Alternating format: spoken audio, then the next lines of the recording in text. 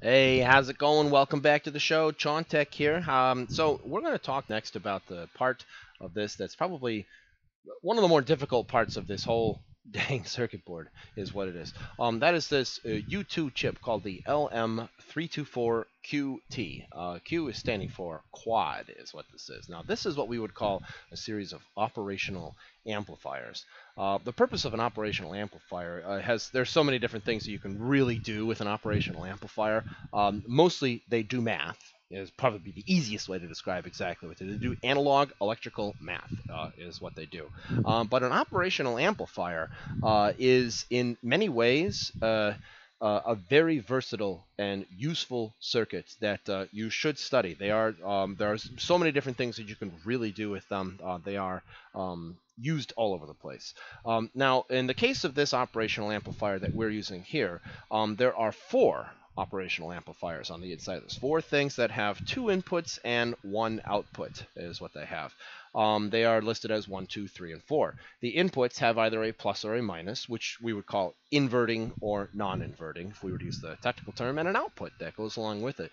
There is also a VCC, a VCC minus, a VCC plus, which is going to be connected up to power, is where this is. So if you were to follow the trace here, this is actually connected up to VCC power. VCC minus, which is connected up here, down, or down here, down to my ground uh, connection.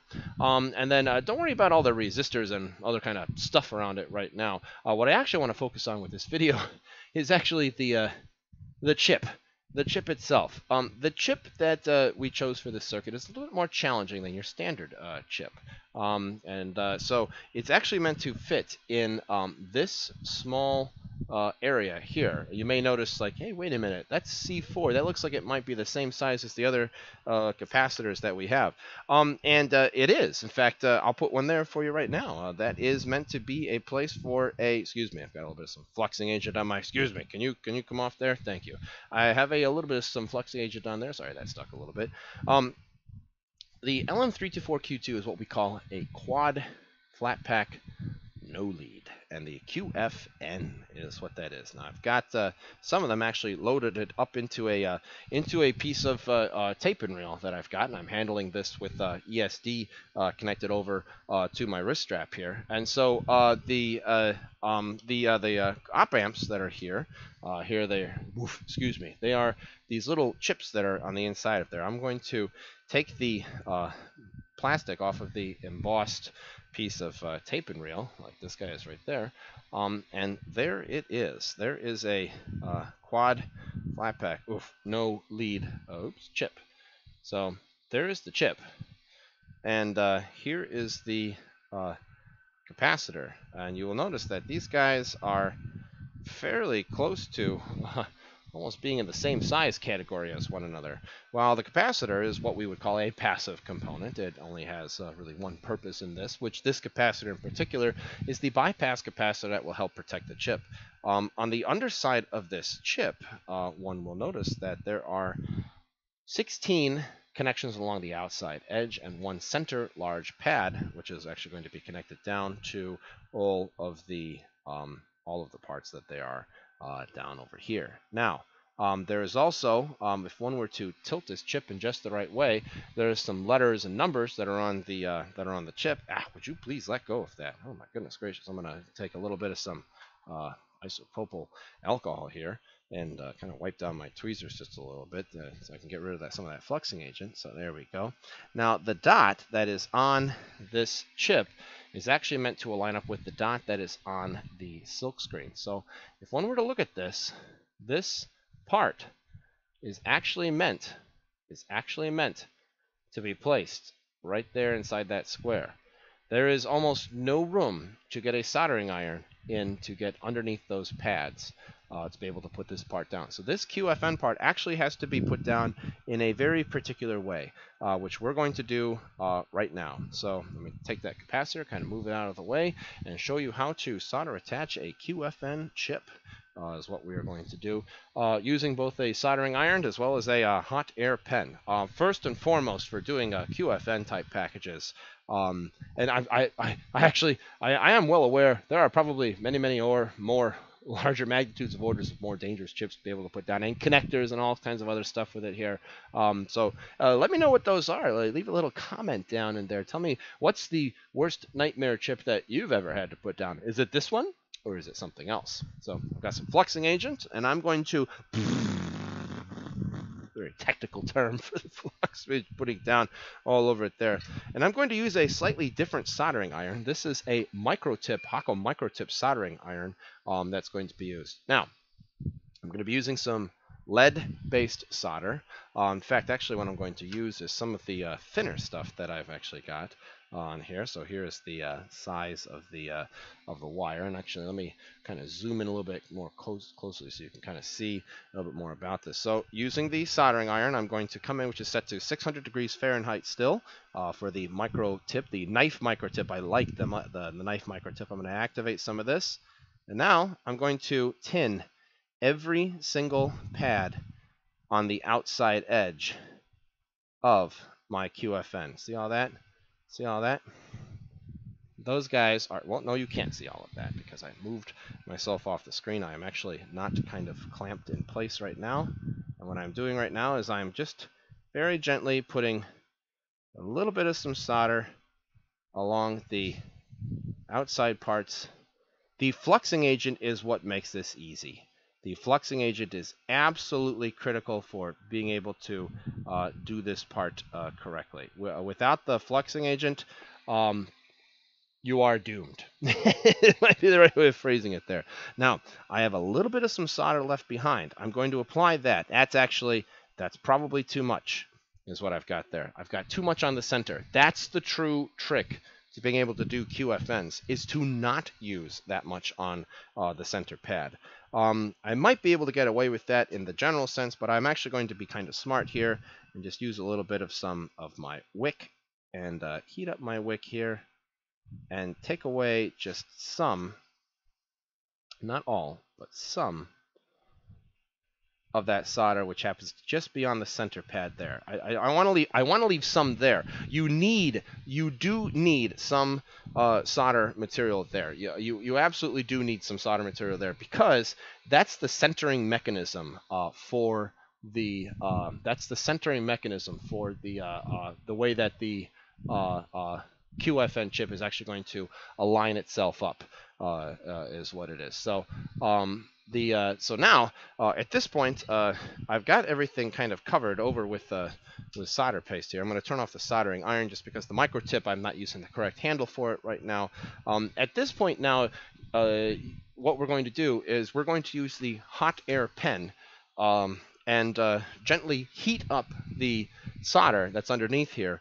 Um, and allow it to connect up to the chip and just watch it kind of flow itself into place uh, is what's going to happen. Um, I'm going to use a temperature of, oh, let's just call it uh, maybe 275 degrees uh, C and an airflow of, let's just say 70% uh, is what we'll have it. Um, using my uh, my quick uh, 861DW soldering my hot gun is what it is. Actually, what I'm going to do first, you might be able to see right now that the uh, area is kind of a, a burnt color, uh, is what it looks like. So I'm going to use a um, Q-tip and a little bit of some uh, cleaning solution and clean off the uh, fluxing agent material that was left over from uh, tinning all the pads. You can see now it looks uh, much, much nicer. Um, when doing chips like this, it's useful to just take everything that you can possibly use. That does that probably doesn't look the nicest nice in the world. In fact, it probably, you know what? Let's let's try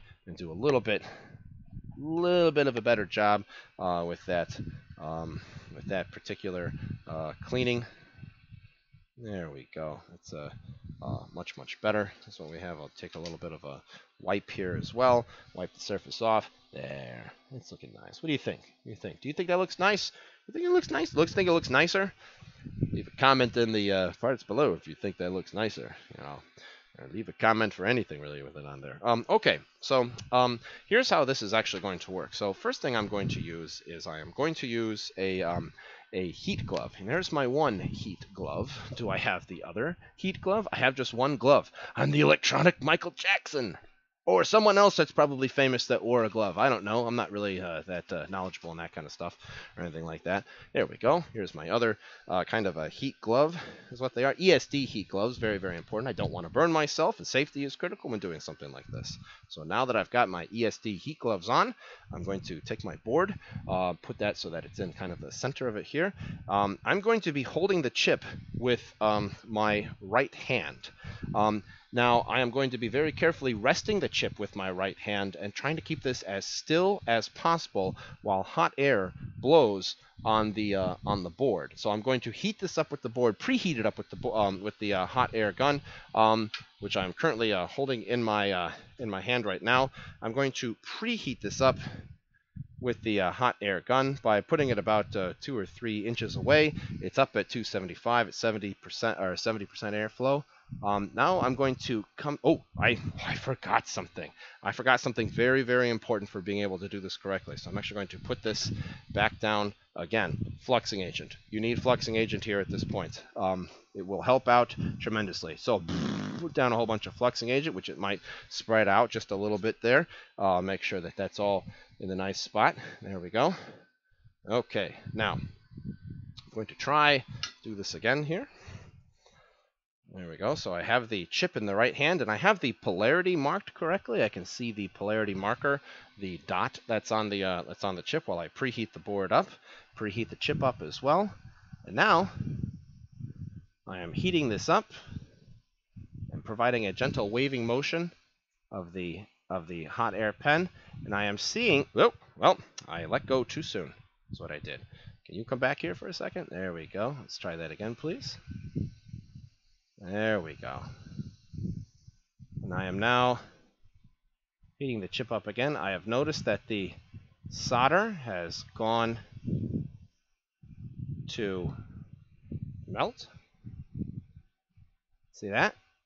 And the solder is kind of helping to hold this thing into place. And now very, very carefully, I'm going to kind of nudge this thing around while I continue to wave the um, this guy. You see how I can like push it and it kind of moves back to the center again, like that?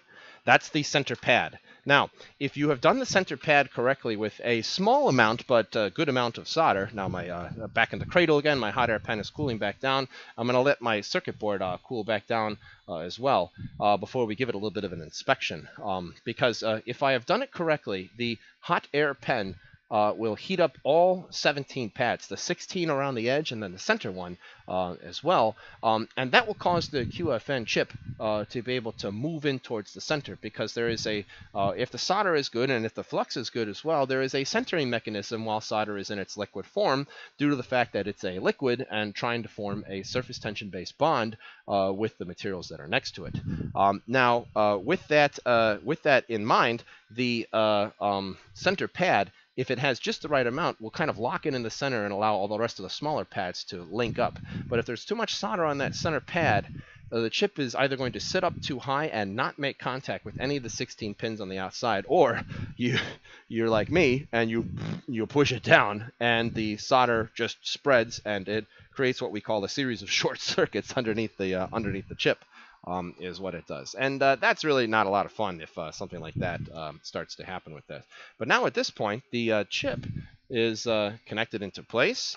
And so let's uh, let's have a closer look on the edges. That's what we want to look at. For if we've done this correctly, you can still see the edge of a QFN chip. So I'm going to start looking at the first edge here, and I see that it's at least aligned up uh, correctly there pros that are good at this probably can do a, a much, much uh, better job than what I can do with it. Uh, I'm going to look at the second edge.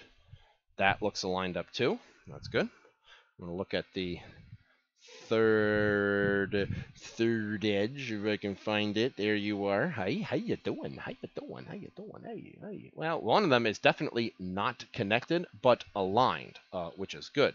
Um, I can apply my soldering iron, which I'm going to do here in just a second, along the edge of all four parts of that chip. Now, this last edge is going to be somewhat hard to get to because it is the uh, uh, largest part uh, of the board. Where is it? Hi. How are you? Can I look at you, please? Focus all the way up, and that is, well, that looks aligned for the most part to me. Yeah, that is aligned. It's aligned up to the pads there, but it's sort of not connected all the way. So what we're going to do next, and it may have just been like not enough heat or not enough airflow provided by the hot air pen, could be a couple of things uh, associated with that. Um, but what I'm going to do with this now is I am going to take some fluxing agent, such as what I got with it right here, align it along the edge of the uh, of the chip, turn my soldering iron uh, back on again, uh, which is the knife edge, and you're probably going to see one of the reasons why I really like to use this uh, this particular uh, soldering iron. I'm going to take a little bit of some spare solder that I've got just kind of sitting here and tin the tip up just a just a little bit, and then um, with the camera rolling, I'm going to come down with the uh, knife edge and just sort of touch the tips of each one of the QFN. There we go. And I see two connections on there for sure. This also could be from just there not being enough of a uh, connection, enough material on the base of the uh, of the uh, QFN. I'm going to take just a little bit of some solder. That's a little bit too much solder is what that is there, excuse me. And then hit that last one right there. And there you have it. There's four of them that are connected up. Let's do the uh, bottom ones, the first ones that we started uh, uh, looking at. Hi, that's my hand. and uh, we'll come down here, down to the next one, looking good. Uh, applying flux. Fluxing agent is uh, fluxing agent is our friend for doing surface mount. That's one of those, uh, I, I, forgot where I heard that from, uh, all sorts of many years back, but the fluxing agent is truly, truly, truly the secret sauce to being able to process uh, surface mount type devices. The wrong flux um, can also hurt you in uh, many, many ways. Um, the wrong flux can make things uh, difficult to work with, in some cases, uh, darn near impossible sometimes to uh, to work with uh, under the uh, under the right scenario with this. So and I'm going to come down and hit you, you, you, and you. A one, a two, a three, a something. How old is that? They're probably still showing that commercial somewhere, you know. That's the the owl is what that is from uh, Tootsie somethings, something like that. I don't know, something I haven't had in uh, in quite a while. Can you see what I just did there? I put some fluxing agent down on all the uh, all the pins. I'm going to hey hey hey hey. And now at this point, um, all four of the uh, pins have been applied with uh, some fluxing agent. I'm going to take the uh, Q-tip that I was using the uh, the last time here and clean up the all the parts of the circuit board that I actually had uh, kind of messed up the last time. I think my Q-tip has just about, oof, excuse me, I wasn't wasn't aware I wasn't showing what I was looking at there. I think my Q-tip is just about spent uh, here. It's just about. This is actually, believe it or not, believe it or not, if you've been following my channel for the last um, week, this is actually the uh, the same Q-tip that I was looking at uh, not too long ago. So uh, this Q-tip has uh, um, this Q-tip is now brown bread is what that is. So I'm going to grab a, a, different one that I've got here, a little bit more of a uh, not so standard in the bathroom one, and uh, clean the sides here, clean the top, clean the top. And there you have it. Clean it kind of around the edges of it here. Just make sure I've got all the fluxing agent off. And that hair that's off with it there. Top of the chip looks a little bit yucky, but hey, that's okay. So that is how you apply a QFN, uh, you let go, please? Got a little bit of fluxing agent on the edges of the board there. Uh, that is how you apply a QFN, a quad flat pack no lead, down to a printed circuit board. Uh, do you like what you're seeing with that there? Uh, or do you have any questions with there? Let me know in the comments uh, uh, below there, and uh, we'll see you on the next video here. All right, see you around.